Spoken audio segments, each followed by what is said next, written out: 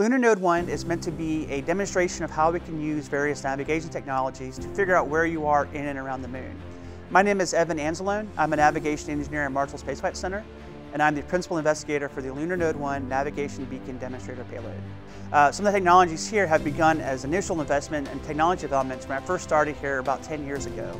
So it's been amazing to be able to see this technology grow from a paper study, software demonstration, all the way up to a payload that are actually going to be demonstrating technology from the lunar surface. Our focus is on developing the enabling technologies to help vehicles and the science payloads navigate on, know where they're at, and know what time it is on the moon.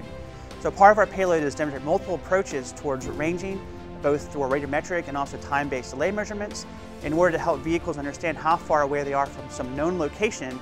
That way they can help inform where they're at to guide their operations um, and navigate on the surface of the moon. I'm holding in my hands uh, the Lunar Node 1 mass simulator. Uh, we use this build uh, to test out our vibrational modes, put on a shake table, and also do fit checks uh, with the lander itself. Um, inside of our payload, we have multiple electronics boards that fit within this chassis that is a little bit about a half a U in size.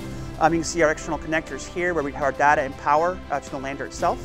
And within here, we have multiple boards that do the power regulation, our data control, our FPGAs, all those kind of electronics pieces are in here as well as a small S-band radio that attaches up underneath this top radiator in order to distribute this heat and then to talk to the antenna, which mounts here.